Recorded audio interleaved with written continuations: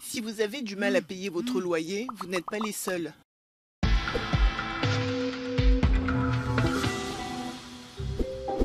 Dans toute l'Union européenne, des dizaines de milliers de personnes ont été incapables de payer leur loyer au cours des 12 derniers mois. Cela représente une moyenne de 6,3% dans les pays de l'Union européenne. Et ce chiffre n'inclut même pas les personnes menacées de pauvreté ou d'exclusion sociale.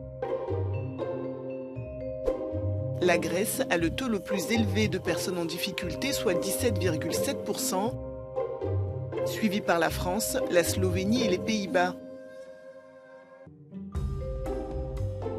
La tranche d'âge des 16-29 ans est la plus touchée puisqu'elle représente environ 15% de toutes les personnes au sein de l'Union européenne qui n'ont pas été en mesure de payer leur loyer au cours des 12 derniers mois.